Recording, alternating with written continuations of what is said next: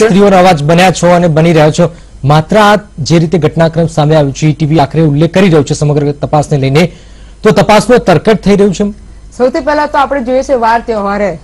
આવી રીતે એક્ટરો લો યા આવા મોટા મોટા માણસો લો એ લોકો પોતાના પૈસાના જોરથી પોતાના પોલિટિકલ વર્ગના જોરથી એ લોકો પૈસા બોલતા હે. પૈસા બોલતા એક્ઝેક્ટલી આ બધું દબાવવાની કોશિશ કરે છે. ઇનિશિયલી શું થયું? દબાવવાની તો કોશિશ થઈ જ ગઈ હતી.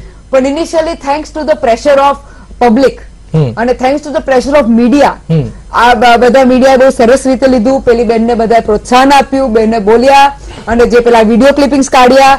એના લીધે આ police did not have a chance did not have a choice but to go ahead and put up FIR and go ahead હવે થયું શું કે ધીરે ધીરે પછી જેમ જેમ ઇટ્સ વેરી નેચરલ જેમ બધા લોકોને ખબર છે પોલીસને બી ખબર છે કે આ બધા અત્યારે બહુ બધા ચડી રહ્યા છે તો આપણે હા હા હા બધું કરી લીધું.